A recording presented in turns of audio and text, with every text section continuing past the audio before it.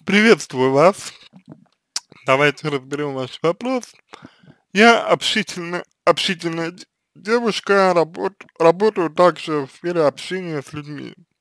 С молодым человеком 7 лет в отношениях, все хорошо, есть один минус. Когда мы не вместе, мне очень много хочется ему рассказать. Когда вместе, я не знаю, чего начать разговор, будто стоит какой-то барьер.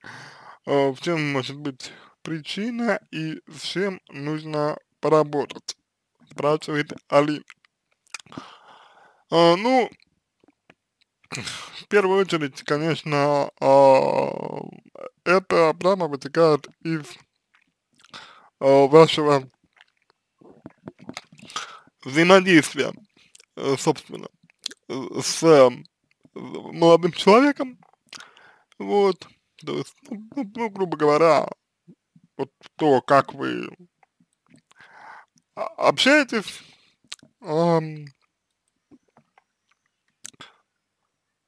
э, с, э, ну вот, с мужчиной, да, со, со своим мужчиной, э, то, как вы с ним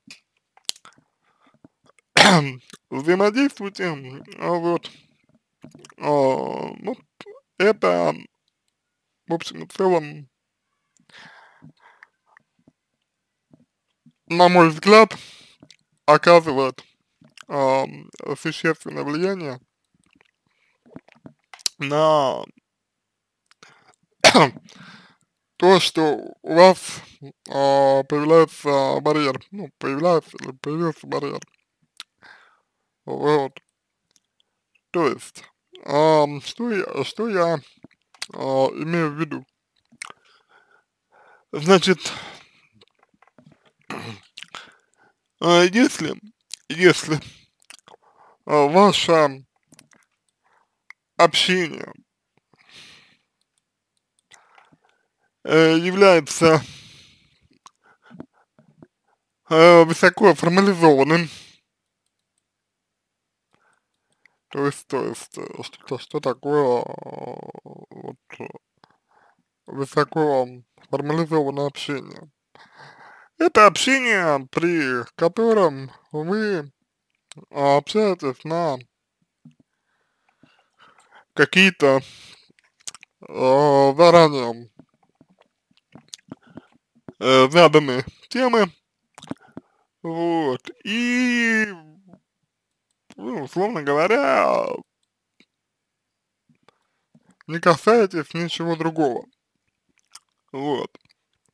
При этом, при этом, э, вы можете хорошо знать Эм, чего, например, хочет от вас молодой человек, вот, вы знаете, доп допустим, ну, например, что он от вас ждет, ждет, и, соответственно, э, понимаете, что, например, ничего другого ему не нужно, вот, то есть он не поймет, не, не поймет, не оценит а, то, что, а, ну, то, что вы ему проявите, да, вот, то, что, то, что вы ему выразите, вот, он это, он это не поймет, не увидит, а, не оценит, а, вот. И, ну, ну, и вот соответственно, не сможет э, дать вам какую-то обратную связь. Это первое. Это довольно узкая, э, так скажем,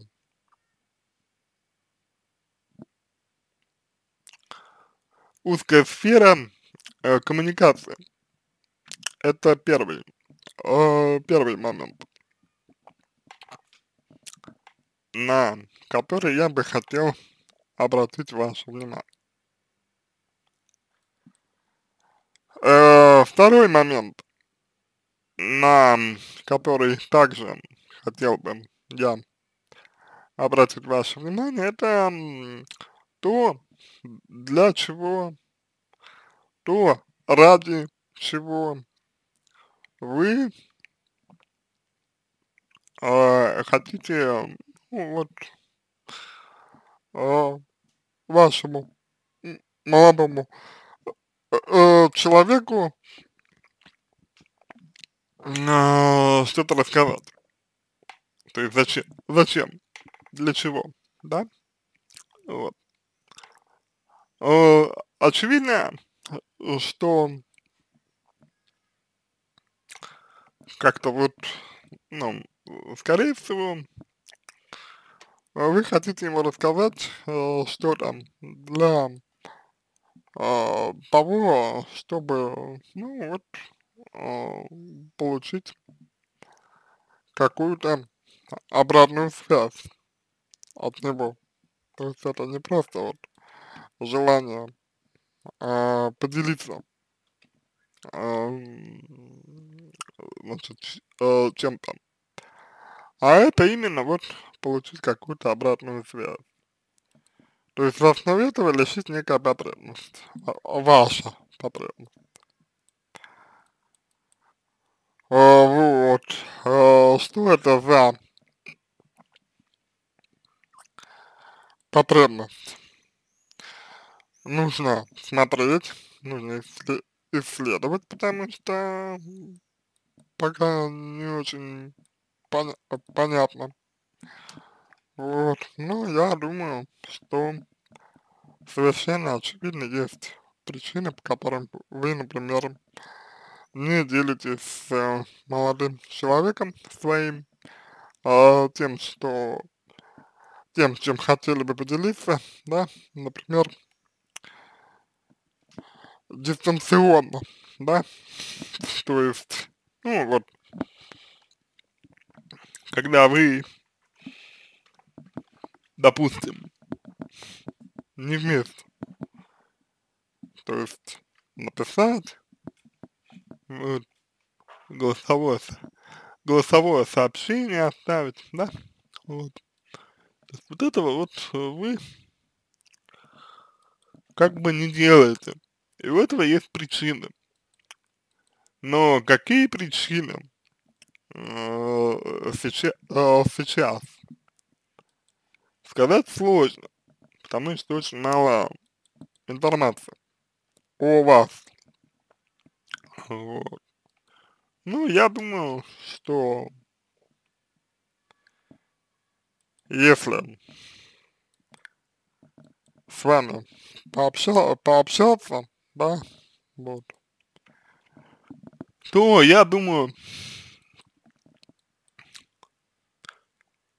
что эта информация появится, то есть нам будет понятно то, о чем я говорю. А, ну и последнее, наверное, о чем можно сказать, это а, то, что у вас вполне возможно есть а, что-то невыраженное к нему, то есть вот что-то вы ему не сказали а, такого ва важного для вас, вот, что на самом деле вас волнует или вы хотели бы сказать. Вот. То есть барьер может возникать, когда люди вот не говорят о чем-то, что их а, волнует, беспокоит, тревожит. Вот, когда они это замал, замалчивают, вот возникают такие аспекты. Вот, ну, вот э, хорошим было бы здесь вопрос, да,